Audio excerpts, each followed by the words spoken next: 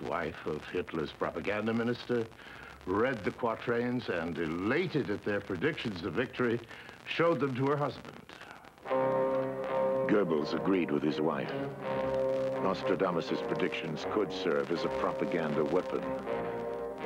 With clever selection and manipulation, they could be used to help break the French resistance. He ordered Nazi planes to bombard France with leaflets bearing Nostradamus' predictions of Nazi victories. France did fall. The Nazis marched into Paris on June 14, 1940. The French nation, they will believe in rash things. They will be in great grief.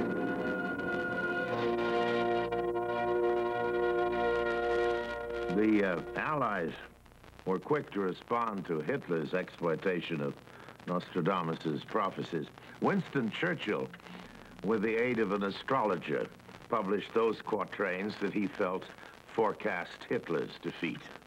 The Roman power will be defeated, then the great neighbor also, then they will turn about in confusion, the great country perverted will be vanquished.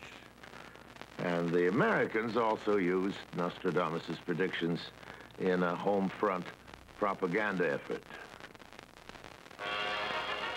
MGM Studios, under producer Carey Wilson, produced a series of shorts about Nostradamus for the movie theaters. Beyond exploring the mysteries of prophecies, the films served the national interest. But Nostradamus made some predictions about us, too. The chosen protector of the great country for endless years will hold the famed torch. It will serve to guide this great people, and in its name they will struggle and triumph. Yes, the people of the 13 colonies chose freedom as the protector of this land. For endless years, freedom has and will hold up the famed torch. In freedom's name we have struggled, we shall continue to struggle, and shall finally triumph, not without the sacrifice and not without the pain that must forever make mankind free. Nostradamus wrote those words almost 400 years ago. Nostradamus scholars say the war ended as the French prophet had predicted, with the defeat of Germany and with the invention of a new weapon.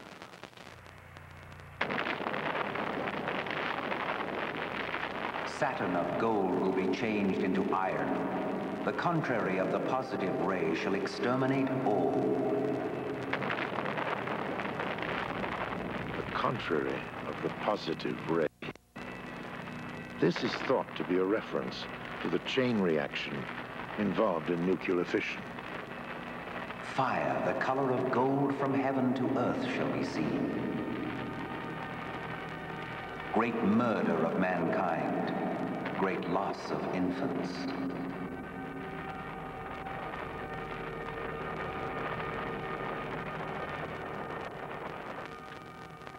All this has been about the past. A conjecture of how Nostradamus viewed history from his time to ours. What about today, the present, the here and now? Well, if you keep one eye on your daily newspaper and one eye on the quatrains, I think you can pretty quickly see why so many of his partisans continue to insist on his relevancy in modern times.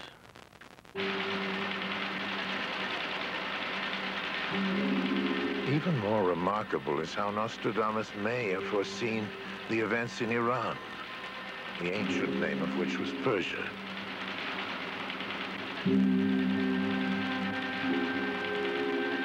Rain, famine, war in Persia having not ceased, too great a faith shall betray the monarch.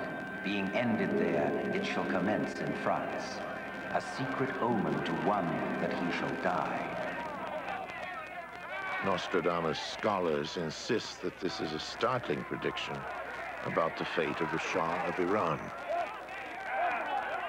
Too great a faith shall betray the monarch. A secret omen that he shall die. And what of the next line? Being ended there, it shall commence in France. Until last year, the majority of people did not know who the Ayatollah Khomeini was, let alone that he would launch his coup against the Shah from Paris.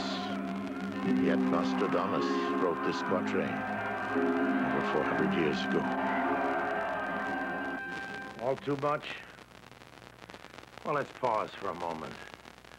That's the past and the present. What about the future? This brings us now to the very essence of the mystery. How accurate is he?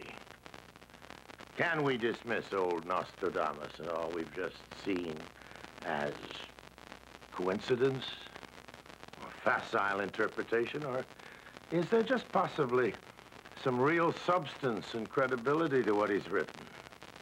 If we accept past evidence as proof of his accuracy, then there's a fair chance that what he said about our future might also be true. And if so, then we must listen very carefully.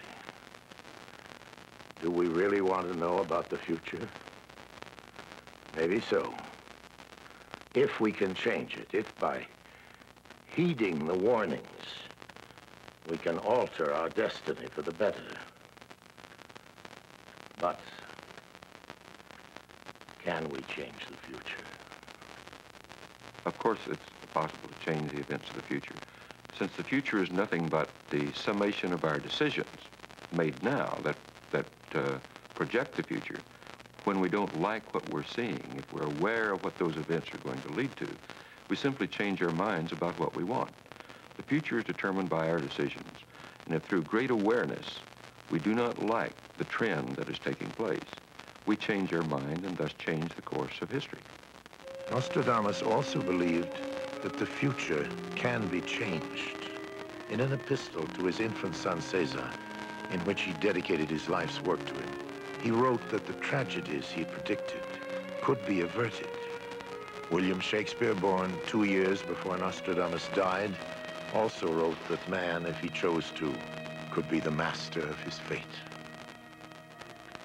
With the idea, then, that we do still have it in our power to affect the future, let's go ahead and look for the signs as Nostradamus wrote about those signs. Let us now encounter the events still to come.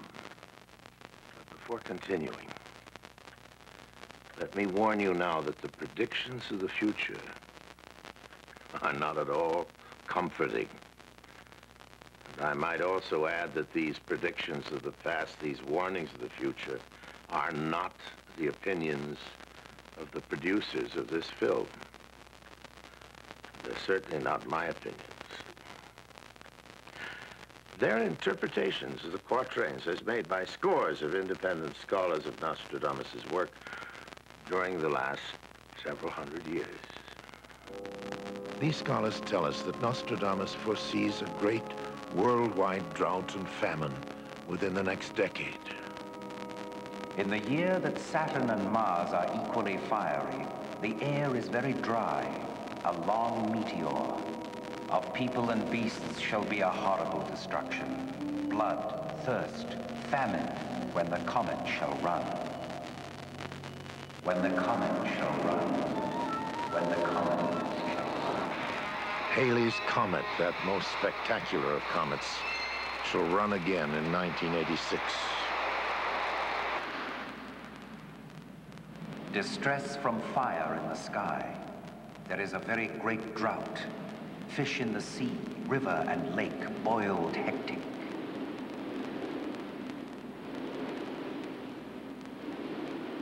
The great famine do I see drawing near turning from one way to another and becoming universal. A famine so great and so long that man shall become a man-eater. Nostradamus also predicts great natural disasters like earthquakes.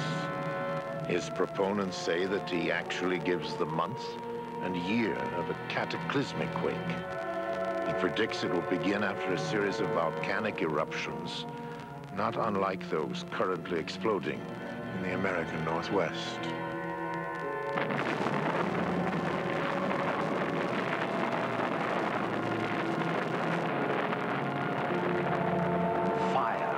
Center of the Earth, the great earthquake shall be in the month of May. Saturn, Capricorn, Jupiter, Mercury in Taurus, Venus in Cancer, Mars in Zero. So, Nostradamus has given us the month, May, of a great earthquake. And more, he has given us the year. Astrologists tell us the conjunction of Saturn, Capricorn, Jupiter, and Mercury will occur again in 1988. May 1988. But where does Nostradamus say this great earthquake will strike? Fire from the center of the Earth shall make an earthquake in the new city. According to many scholars, whenever Nostradamus wrote about new cities, he was referring to cities in the New World of America. Here he could have been referring to the new cities of San Francisco and Los Angeles, both of which sit on an earthquake fault line. The San Andreas Fault uh, comes up from the Mexican border and goes up past San Francisco, very close to San Francisco, and on up to the north. The crust of the Earth is broken up into plates, which are moving with respect to each other. Normally, it doesn't occur smoothly. It occur, it's uh, strain builds up like the energy you store in a rubber band when you stretch it uh, until it, the rubber band breaks uh, and the plates or the, the rocks along the edge snap back uh, into line and uh, the vibrations that are caused by that sudden motion uh, radiate out and are felt and recorded as an earthquake. There was one of about magnitude 8 in 1906 that destroyed San Francisco. It's been determined that the recurrence rate between great earthquakes is about 160 years. The last one was in 1857. That was 122 years ago. So uh, we're getting up into the time period when we have to think about such an occurrence. Fire from the center of the earth shall make an earthquake in the new city.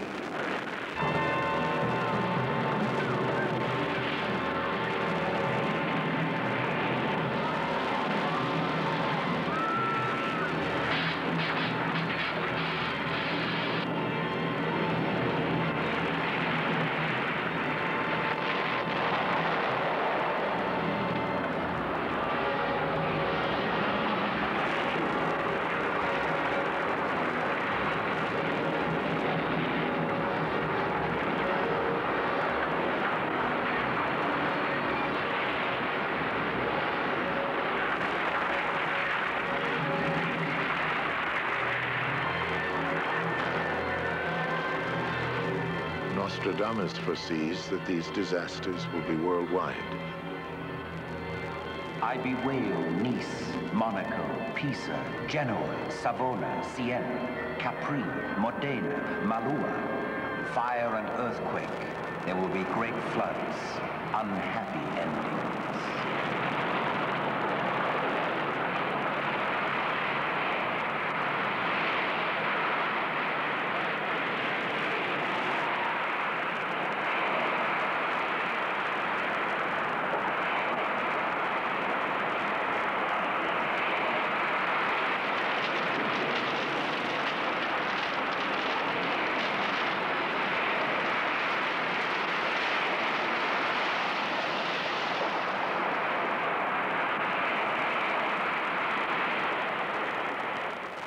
The deluge will be so great and sudden, there will be no spot of earth for a firm foothold.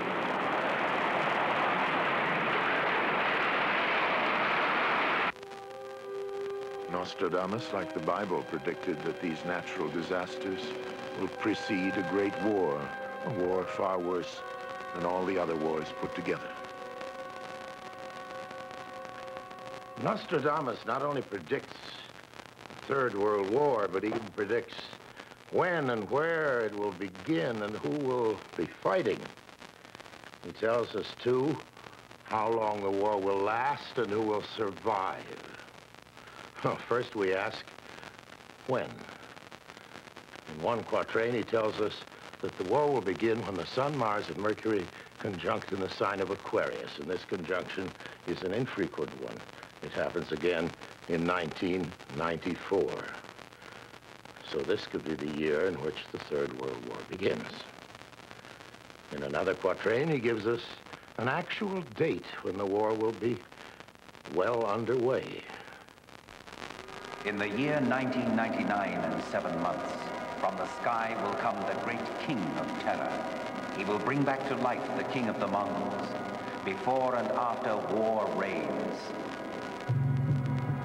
Out of the country of Greater Arabia shall be born a strong master of Mohammedan law. This king will enter Europe wearing a blue turban. He is one that shall cause the infernal gods of Hannibal to live again. He will be the terror of mankind. Never more horror.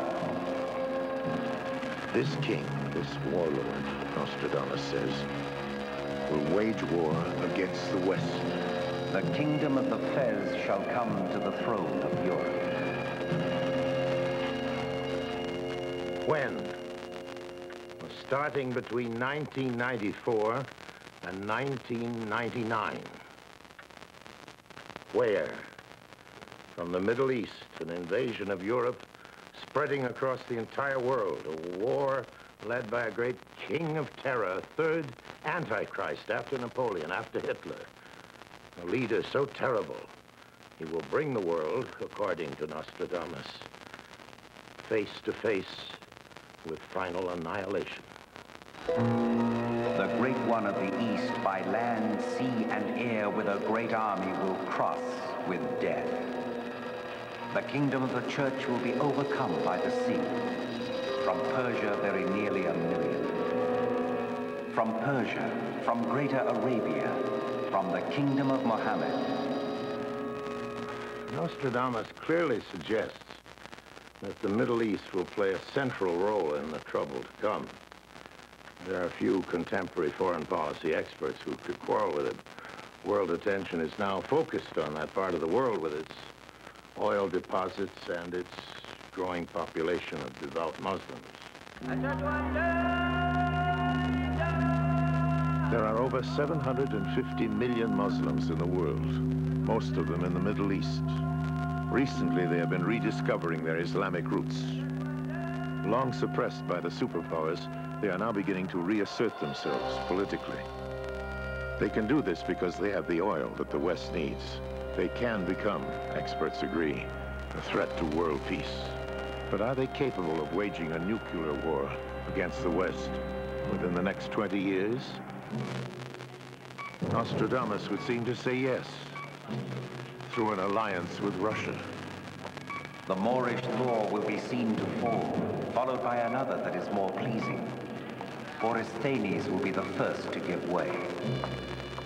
Nostradamus experts agree that here the French seer is suggesting that Islam will spread through Russia, starting in the south, near the river Borysthenes. They foresee Soviet nuclear capacity combining with Islamic manpower to wage war by 1999.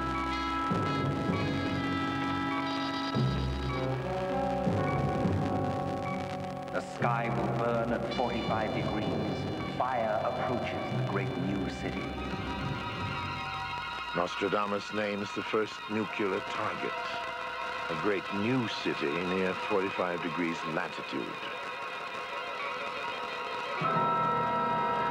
Experts agree that that could only mean New York.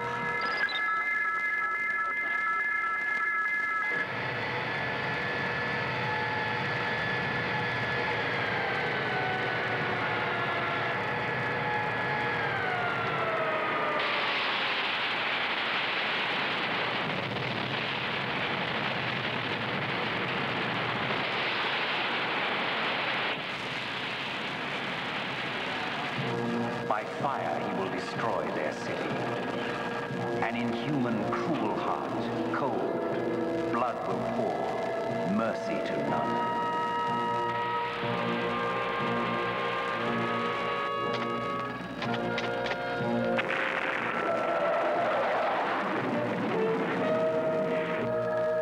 Nostradamus is also also said to have written of the American response. The trumpet shakes with great discord. An agreement broken. Lifting the face to heaven, the bloody mouth will swim in the blood.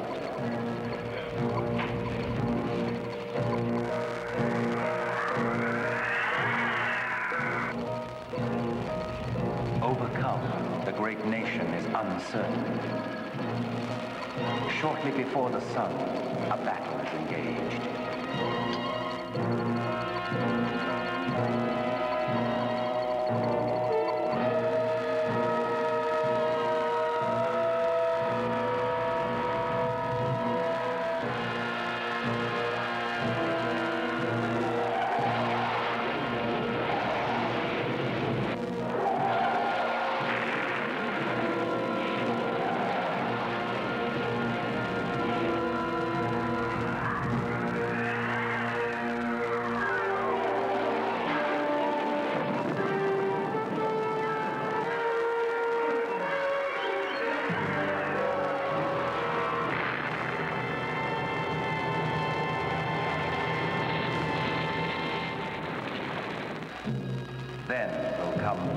Tumult.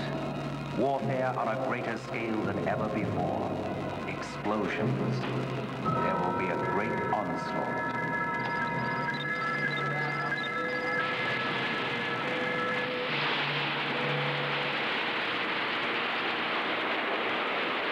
There will be terror, terror, terror.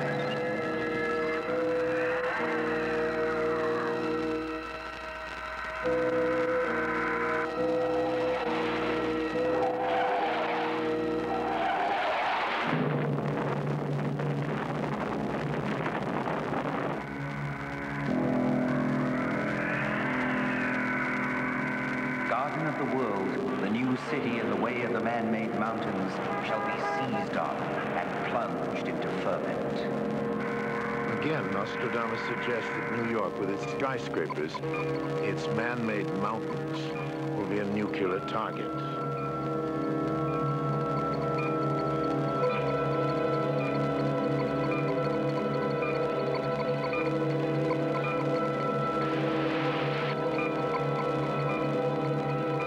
Nothing, the prophet says, will keep the city from dying.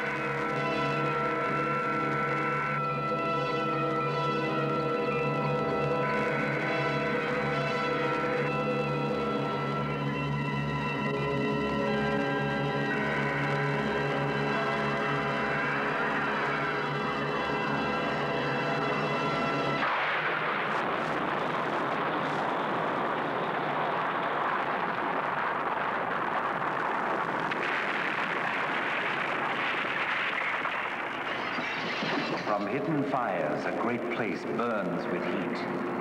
A hot wind. War.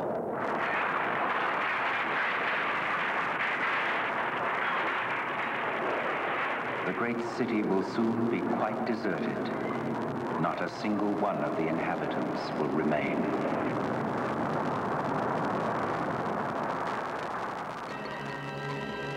Nostradamus tells us how long the war will last. The war shall last seven and twenty years. The earth trembles, pushed into the air and falls again. The herald is sent out to call for surrender.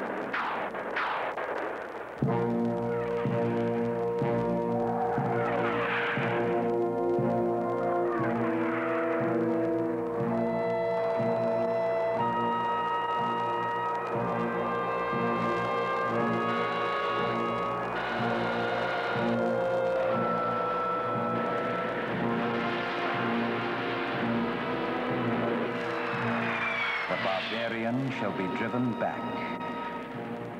And all the kingdoms of Christianity and all the unbelievers shall quake for the space of years.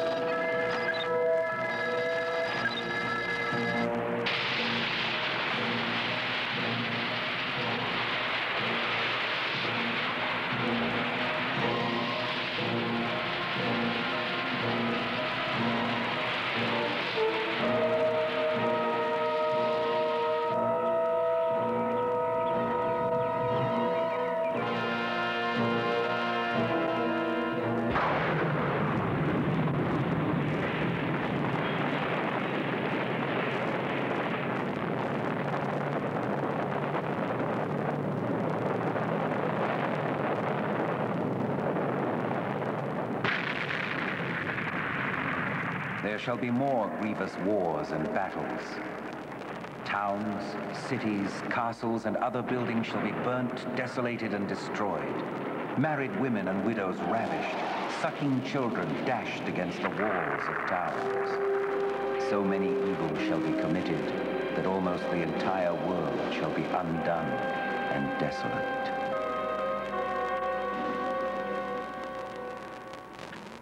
Antichrist. Three times will he be annihilated. Seven and twenty years will blood be shed in war. Century eight, quatrain 77. Nostradamus tells us that the war will end seven and twenty years after it begins with the death and the defeat of the Antichrist, and it shall end due to an unexpected alliance.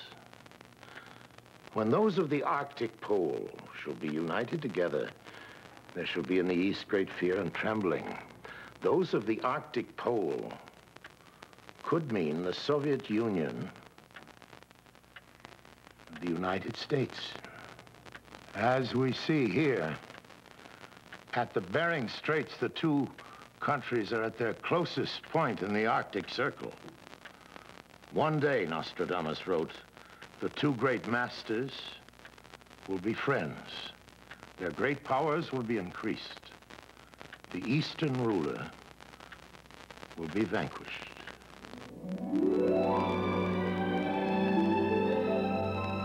The sun and the eagle will appear to be victorious. Peace, prosecuted by death, it shall be achieved. In one night, the tree that has been long dead and withered shall grow green again.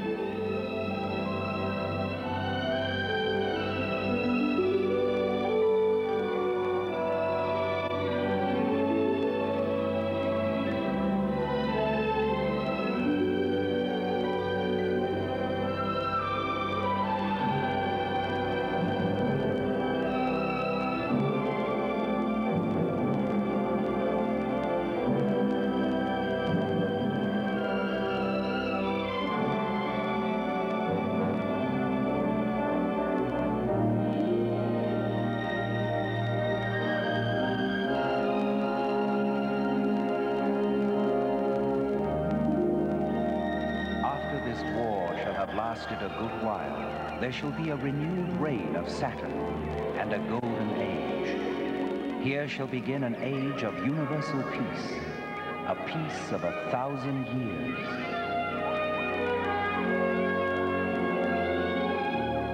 And after a peace for a thousand years, Nostradamus tells us next to nothing. He does, however, tell us in what year the world will finally come to an end. The year 3797. He wrote about the end of the world in a letter to his infant son. And you know, it's at such times that each of us looks at the long road ahead, contemplating not only our own future, but the future of our children. Not many of us can see the future, but none of us need be Nostradamus or have his gifts for seeing through time to sense that we are at a crossroads, that our immediate future could hold the worst war man will ever know. So we must each of us in our own way do something to make sure that that war will never happen. Perhaps if we heed Nostradamus, if we face up to the challenges of the future, it need not be too late. Not for us, not for our children, or our children's children.